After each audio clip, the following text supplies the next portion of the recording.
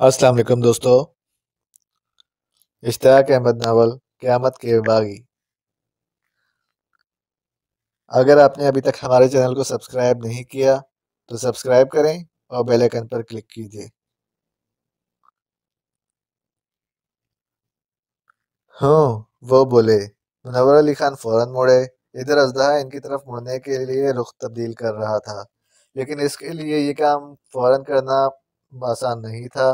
लिहाजा मुनवर अली खान हरकत में आए और इसकी गर्दन पकड़ ली। जो ही इन्होंने इसकी गर्दन पकड़ी और इस पर ज़ोर लगाना शुरू किया, इसकी दुम ऊपर उठी और इनकी तरफ़ बढ़ी। ऐसे में इंस्पेक्टर कमान मिर्ज़ा हरकत में आए उसकी दुम को दोनों हाथों से पकड़ लिया। दुम वाकई बहुत चिकनी थी और इस पर हाथ जमाए रखना बहुत मुश्किल काम था। लेकिन वो भी आखिर इंस्पेक्टर कमान मिर्ज़ा थे। दुम से चिमट कर रह गए। अजदही ने जब ये महसूस किया कि इसकी दुम भी काबू में कर ली गई है तो इसने दुम पर ज़ोर लगाया। और बाकी लोगों ने हैरत अंगेज मंजर देखा कि इसकी दुम के साथ इंस्पेक्टर कामरान मिर्ज़ा भी ऊपर उठ गए थे और अब वो भी मुनवर अली खान की कमर का रुख कर रहे थे। इसने तो मुझे उठा लिया मुनवर अली खान, और अब ये मुझे भी तुम्हारी कमर के साथ लपेट कर रख देगा। नहीं कामरान मिर्ज़ा, तुम्हारी बारी बाद में आएगी। फ़िक्र ना करो, इस वक्त तक मैं इसका दम खम निकाल दूँगा। हम भी क्यों ना इनके जिसम के से लटक जाएँ, रिफत बोली। ओ हाँ ये ठीक रहेगा मुनवर अली खान हंसे। आफ्ताब आसिफ और फरहद भी हरकत में आ गए और इसके धड़ से लिपट गए। अब अजदहा बेबस हो गया और मुनवर अली खान की कमर के एक भी बल ना डाल सका। इस तरह मुनवर अली खान इसकी गर्दन पर पूरा ज़ोर डालने के काबिल हो गए। नतीजा ये कि पंद्रह मिनट बाद अजदहे की लाश गार के एक तरफ़ पड़ी थी और वो आगे बढ़ चुके थे। आगे बढ़ते हुए इन्होंने कहा था, वापसी पर हम इसकी लाश ले चलेंगे। क्यों अंकल? हम इसका क्या करेंगे? इसकी खाल बहुत कीमती है। गार के बाहर फ़ौरन बिक जाएगी। वो बोले, ये गार तो ख़त्म होने में नहीं आ रहा। दुनिया का तवील तरीन गार है, मज़ाक तो नहीं है। इस अजदे की क्या उम्र होगी? अंकल, ज़्यादा से ज़्यादा पाँच सौ साल। जबकि इस गार से किताब मिली है ढाई हज़ार साल पुरानी। आफ्ताब बोला तो फिर इससे क्या होता है? पता नहीं इससे कुछ होता है या नहीं। बस बात जहन में आ गई, मैंने कह दी। लेकिन मेरे ख्याल में इसने बहुत काम की बात की है। इंस्पेक्टर कामान मिर्ज़ा बोल उठे। ये ये आप क्या कह रहे हैं? मैं गलत नहीं कह रहा। इसलिए क्या करी ये कार अढ़ाई हज़ार साल पुराना है, बल्कि इससे भी ज़्यादा पहले का है तो इसमें अजदहा भी अढ़ाई हज़ार साल पुराना होना चाहिए। इंस्पेक्टर कामान मिर्ज़ा मुस्कुराए। तब तो क्या अजदहे की उम्र इस कदर तवील भी हो सकती है? पता नहीं। ये तो मुनवर अली खान ही बताएँगे। वैसे मैं अब तक इस पत्थर के संदूक के बारे में सोच रहा हूँ। पत्थर के संदूक के बारे में? लेकिन क्या? वो कितना पुराना है? अगर मैं इसमें रखी किताब अढ़ाई साल हज़ार साल पुरानी है तो संदूक भी इतना ही पुराना होगा। अचानक इन्हें गार में दाएँ तरफ़ एक ताक नज़र आया।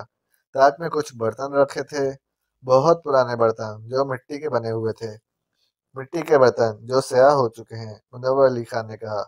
इन बर्तनों को भी अपनी बैग में डाल लो मुनवर अली खान। लेकिन कामान मिर्ज़ा, हम इनका क्या करेंगे? अजदहा, तुम्हारे काम की चीज़ था, ये हमारे। लेकिन किस काम के, ये भी तो बताओ। मैंने तो बता दिया था कि उजदह की खाल बहुत कीमती होती है। ये बर्तन आसार कदीमा वालों के लिए बहुत कीमती होंगे। ओह, इनके मुँह से निकला। फिर मुनवर अली खान ने वो बर्तन थैले में भर लिए, फिर वो आगे बढ़े। अरे बाप रे! एक बार फिर इन्होंने मुनवर अली खान की आँखों में खौफ देखा। अब क्या नज़र आ गया अंकल? चूंटियाँ। चूंटियाँ? इनके मुँह से निकला। हाँ वो देखो। गार की छत और दीवारों पर लाखों करोड़ों चोटियाँ। और ये कोई आम चोटियाँ नहीं है, जहरीली हैं। अगर इनमें से एक एक चोटी हमें काटते तो हम लंबे लेट जाएँगे। और यहाँ तो पूरा लश्कर मौजूद है। और जब हम इनके नीचे से गुजरेंगे तो इनमें से न जाने कितनी है हमारे ऊपर आ गिरेंगी और हमें काट खाएँगी। अरे बाप रे, अब क्या करें? हाँ यही मैं सोच रहा हूँ कि अब क्या करें? मुनवर अली खान बोले बस यहीं से वापस चलते हैं। इससे बेहतर बात और क्या हो सकती है? लेकिन हमने इस गार को आखिर तक देखने का तहिया कर रखा है। चलिए बस, अब रहने दें। आखिर मौत के मुँह में जाने का क्या फ़ायदा? फिर ये हसरत रह जाएगी कि गार को आखिर तक नहीं देख सके। दुनिया के तवील तरीन गार को हम जिस ख़त्म नहीं कर सके। लेकिन अब हम इन चोटियों का क्या करें अंकल? आप खुद तो कह रहे हैं कि ये जहरीली हैं। हाँ यही सोच रहा हूँ। तुम फ़िक्र ना करो। अरे बाप रे, ये सब की सब हमारी तरफ़ बढ़ रही हैं। गोया इन्होंने हमारी भूख महसूस कर लिया है। हाँ ऐसा लगता है हमें इस अजदहे तक वापस जाना होगा। इसका क्या फ़ायदा होगा? ये मुर्दा अजदहे से सिमट जाएँगी, इसे चट करना शुरू कर देंगी और हम बचकर निकल जाएँगे। ये वहाँ तक क्यों जाने लगी। हमारे ताकुब में आएँगी। हम इनके लिए मजीद खुराक हैं और ये अपनी लजीज तरीन खुराक क्यों छोड़ने लगी? बाप रे, आप किस कदर खौफनाक बातें कर रहे हैं। जो हकीकत है, वो ही बयान कर रहा हूँ। खैर तो फिर चलिए, पीछे चलते हैं, इंस्पेक्टर गामान मिर्ज़ा बोले।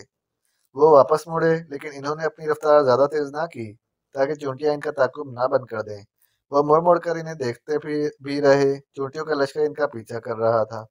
क्या वक्त आ गया है, चूंटियाँ हमारा पीछा कर रही हैं, हम इनसे डर कर भाग रहे हैं। भाई, इस दुनिया में अल्लाह तला ने एक से बढ़कर एक मखलूक पैदा की है। इंसान से ताकतवर तो अनगिनत मखलूक़ात हैं, लेकिन जो अकल इंसान को अता की है, वो किसी और को नहीं। यही वजह है कि इंसान अपनी अकल के ज़रिए अपने से कहीं ज़्यादा ताकतवर मखलूक को शिकस्त दे देता है। लेकिन ये तो ताकतवर भी नहीं है।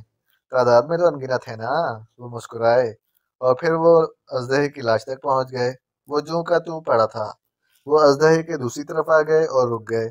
अब देखना यह है कि अजदहे की तरफ़ मुतवजह होती हैं या नहीं। अंकल, क्यों ना हम अजदहे को एक तरफ़ कर दें? हाँ ये ठीक रहेगा। इन्होंने मिलकर अजदहे की लाश को दीवार के साथ कर दिया और फिर इन्होंने ये हैरत अंगेज मंजर देखा। कि चूंटियाँ इन्हें भूल कर अजदहे की तरफ़ बढ़ रही थीं। इससे ज़्यादा हैरत अंगेज मंजर ये था कि चूंटियाँ इसके पूरे जिसम में फैल गई थीं। अजदहा इनकी नज़रों से गायब हो गया और चींटियाँ नज़र आती रह गई।